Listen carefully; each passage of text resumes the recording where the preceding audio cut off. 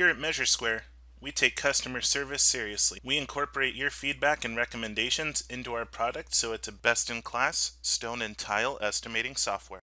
Check out some of our partners like Daltile, Regent Cabinets, Starnet, RightRug, Fuse Alliance, Spectrum Quartz, and Tanza Granite and Marble. With the Measure Square difference, you'll get cutting edge features based off of real world customer feedback, efficient workflows that help you get out more bids per estimator, and customer service that works as hard as you do. All right, so hi there, my name is Ryan. I'll be uh, giving your uh, Measure Square Stone demo today. Real quick, I hope you guys don't mind if I ask you guys a few questions before we get started.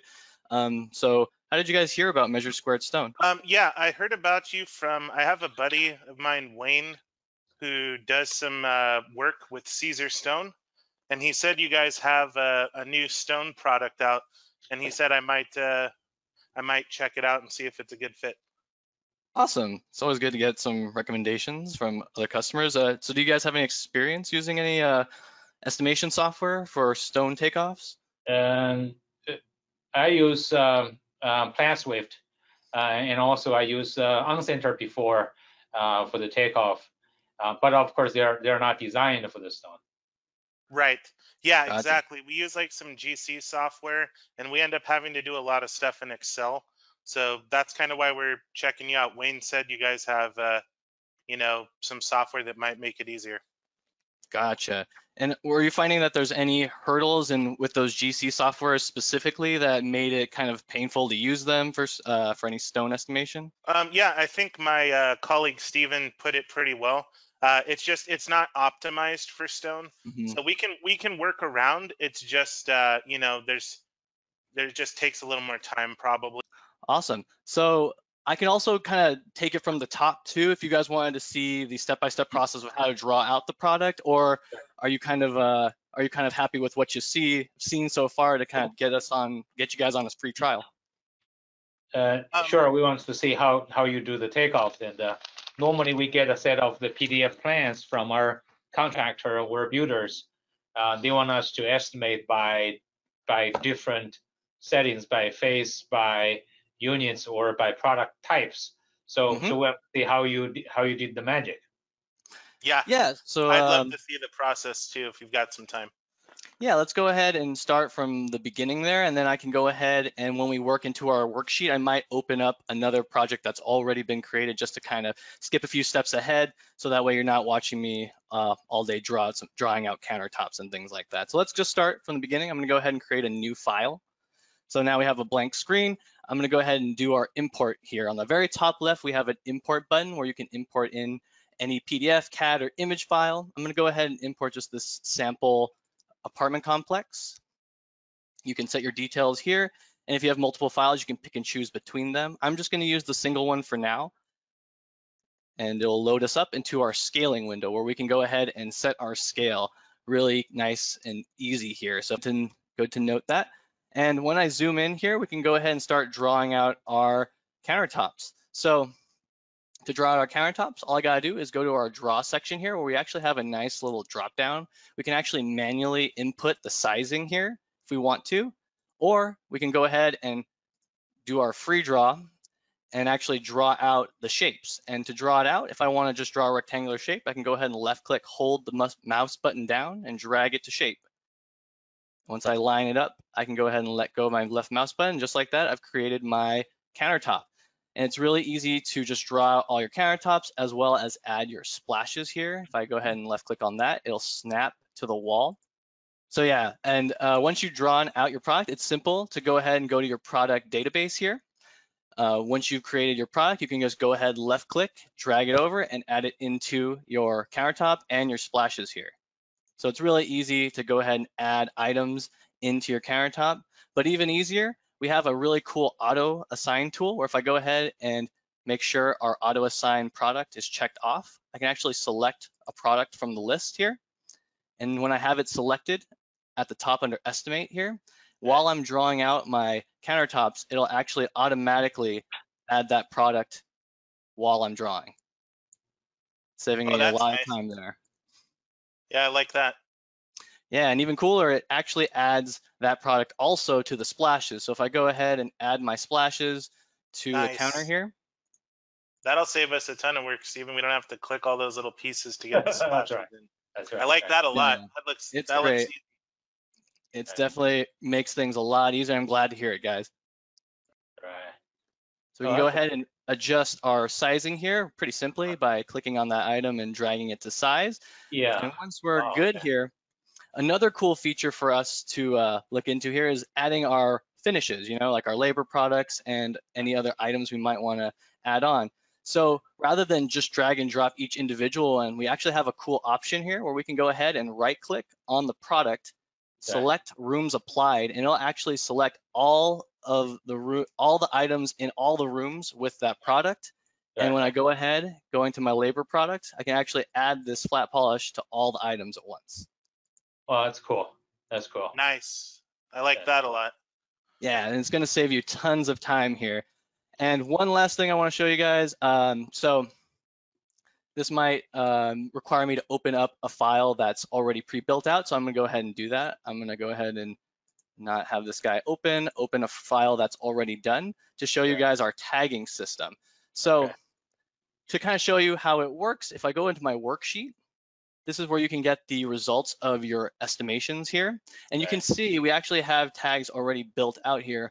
Unit is just the uh, apartment unit. So that's the number of the apartment and the products are just the location. So if it's a kitchen top, it's labeled a kitchen top. If it's a bathroom, it's labeled a vanity. Right. And it's really easy to utilize our um, worksheet here to collapse all these items, giving you a nice, really short and sweet summary of just the total square footage cost amount. And the really cool thing about our um, little worksheet here is if I go ahead and expand this, you can actually move the tags around and change the uh, ordering of it. So if I go ahead and move the product, just dragging it over next to unit, you can actually see here now the kitchen Wow. tops, when I go ahead and collapse all these items, now it goes Nice. by the product. It's not going by the unit type. It's gonna, Yeah. it- you have real customizability here with your uh, quotes. Yeah, That's the very customers flexible. love that. That's awesome. You know, if we can tell them, hey, here's the total for all the kitchens versus the baths, Stephen, that'll Right. save the shop guys a ton of time. That looks pretty cool. Yeah, yeah. I was I was always struggling with Excel on how you how we manipulate those tag and uh, uh, seems to be this is really easy. Yeah, I think we can get everyone on board with this. Looks pretty good. Glad to hear. And we also have a ability to export this. If I go ahead and click this drop down, you can export it Right. into Excel with a nice little summary there. If I go ahead and click on this little icon, Right. it'll save our proposal here. Right. Summary all the way at the bottom for you in Right. Excel. Wow. That looks great. Pages here as Right. well.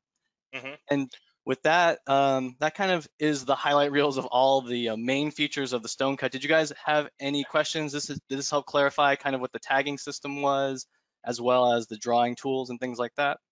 So I just have uh, one question. So when I'm looking at the spreadsheet here, so when you got the the shop drawing that you showed us at the beginning, that was from this view, correct?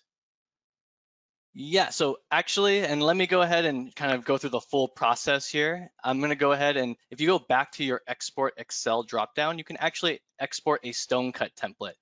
And you'll have to export the stone cut template in order to import it into our stone portal. That's Oh, the uh, Okay. only So thing can you there, yeah. can you just walk me through that real quick? Because I think if you show me that, we probably have everything we need to get started with the trial, don't you think, Stephen?